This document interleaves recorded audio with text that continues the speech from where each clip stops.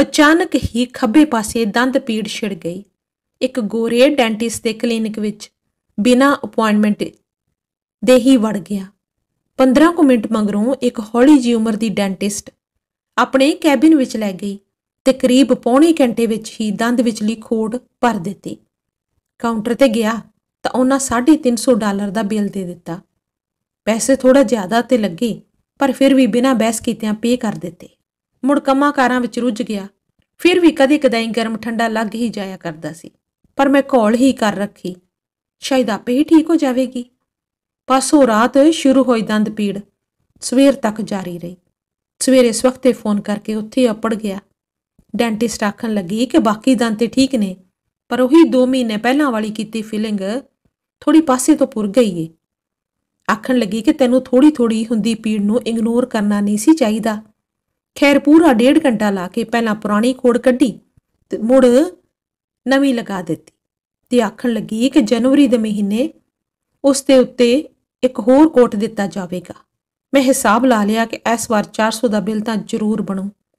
Counter ਤੇ ਬੈਠੀ ਕੁੜੀ ਨੇ ਅਗਲੀ ਡੇਟ ਦੀ ਪਰਚੀ ਫੜਾ ਦਿੱਤੀ ਤੇ ਅਲਵਿਦਾ ਕਹਿ ਦਿੱਤਾ, ਪੈਸੇ ਪੁੱਛੇ ਤਾਂ ਆਖਣ ਲੱਗੀ ਕਿ ਜੇ ਕੀਤਾ ਇਲਾਜ ਮਾਫਿਕ ਨਾ ਬੈਠੇ ਤਾਂ ਅਸੀਂ ਪੈਸੇ ਨਹੀਂ ਲੈਂਦੇ।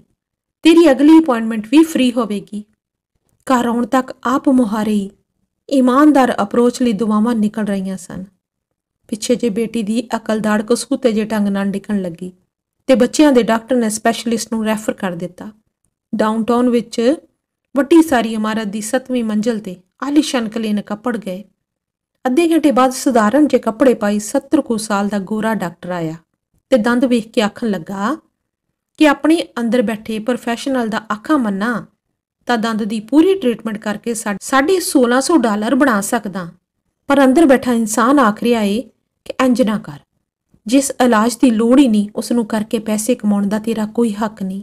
ਫਿਰ ਸ਼ੁਕਰੀਆ ਆਖ ਤੁਰਨ ਲੱਗਾ ਤਾਂ ਆਖਣ ਲੱਗਾ ਕਿ ਮਰਨ ਤੱਕ ਜੋਗੇ ਬਹੁਤ ਬਣਾ ਲਏ ਨੇ। ਕਿੰਨਾ ਸਿੱਧਾ ਸਾਦਾ ਜਿਹਾ ਹਿਸਾਬ ਰੱਖਿਆ ਹੁੰਦਾ ਕਈਆਂ ਨੇ। ਲਗਭਗ ਮਹੀਨੇ ਕੋ ਤੂੰ ਹਸਪਤਾਲ ਇਲਾਜ ਕਰਵਾ ਰਹੇ ਆਪਣੇ ਬੌਸ ਨੂੰ। ਫੋਨ ਤੇ ਹਾਲ ਚਾਲ ਪੁੱਛਿਆ। ਆਖਣ ਲੱਗਾ ਯਾਰ, ਜਦੋਂ ਹਸਪਤਾਲ ਵਿੱਚ 24 ਘੰਟੇ ਮੰਜੇ ਤੇ ਪਏ ਨੂੰ ਡਾਕਟਰ ਦੇਖਣ ਆਉਂਦੇ ਸਨ, ਤਾਂ ਬਾਹਰ ਖੁੱਲੇ ਵਿੱਚ ਘੁੰਮਦੇ ਫਿਰਦੇ ਤੁਸੀਂ ਲੋਕ ਬੜੇ ਹੀ ਚੇਤੇ ਆਉਂਦੇ ਸੋ। ਅੱਜ ਸਰਜਰੀ ਤੋਂ ਪੂਰੇ 1 ਮਹੀਨੇ ਮਗਰੋਂ ਨਹਾਤਾ ਹਾਂ। ਇੰਜ ਲੱਗਾ ਜਿੱਦਾਂ ਇੱਕ ਵਾਰ ਫੇਰ ਜਿਉਂਦਾ ਹੋ ਗਿਆ। ਆਖਣ ਲੱਗਾ, ਦੋਸਤਾ, ਅਮੀਰ ਉਹ ਨਹੀਂ ਆ ਜਿਸ ਦੇ ਕੋਲ ਮਿਲੀਅਨ ਡਾਲਰ ਪਏ ਨੇ। ਸਗੋਂ ਉਹ ਏ ਜਿਸ ਦੇ ਕੋਲ ਖੁੱਲੇ ਨੀਲੇ ਅੰਬਰ ਹੇਠ ਸੋਹਣੀ ਧਰਤੀ ਤੇ ਵਿਚਰਦਿਆਂ ਹੋਇਆਂ ਚੰਗੀ ਸਿਹਤ ਨਾਮ ਦਾ ਕੁਦਰਤ ਦਾ ਇੱਕ ਬਹੁਤ ਹੀ ਬੇਸ਼ਕੀਮਤੀ ਖਜ਼ਾਨਾ ਏ। ਲਿਖਤ ਹਰਪ੍ਰੀਤ ਸਿੰਘ ਜਵੰਦਾ, ਆਵਾਜ਼ ਜਾਸ਼ੀਨਾ ਫਿਰ ਮਿਲਦੇ ਆ ਇੱਕ ਨਵੀਂ ਕਹਾਣੀ ਦੇ ਨਾਲ। ਹਾਂ ਦੋਸਤੋ, ਜੇ ਤੁਸੀਂ ਚੈਨਲ ਨੂੰ ਸਬਸਕ੍ਰਾਈਬ ਨਹੀਂ ਕੀਤਾ, ਤਾਂ ਪਲੀਜ਼ ਸਬਸਕ੍ਰਾਈਬ ਕਰ ਲਓ ਤੇ ਇਸ ਵੀਡੀਓ ਨੂੰ ਲਾਈਕ ਤੇ ਸ਼ੇਅਰ ਜ਼ਰੂਰ ਕਰਿਓ ਜੀ। ਫਿਰ ਮਿਲਦੇ ਆ ਨਵੀਂ ਵੀਡੀਓ ਦੇ ਨਾਲ। ਤਦ ਤੱਕ ਲਈ ਰੱਬ ਰਾਖਾ।